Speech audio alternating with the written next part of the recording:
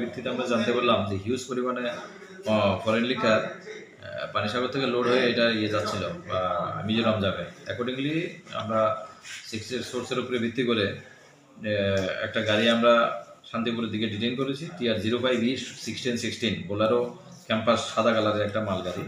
এখানে দুইটা ছেলেকে আমরা ডিটেইন করেছি, সুকময় চাকমা আর হলো চিক্ক চাকমা, তাদের বাড়ি, একজনের বাড়ি শিলচরি, মিজোরাম আর একজনের বাড়ি হলো আমসরি তাও মিজোরাম মামির ডিস্ট্রিক্টটা পার পের হয়ে।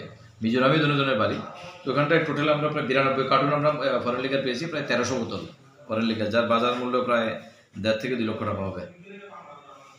কি ব্যবস্থা নেবেন এখন আমাদের ওদেরকে অলরেডি আমরা গাড়ি সহ ফরেন লিগার সহ সিজ করেছি আর দুজনকে আমরা অ্যারেস্ট করে কোর্টে ফরওয়ার্ড করব কালকে। ওদের বিরুদ্ধে একটা ইয়ে ত্রিপুরা এক্সাইজ একটার আওতায় আমরা মামলা নিচ্ছি। আপনার পরিচয়টা? সদর সরকার ওসি কাঞ্চনপুর।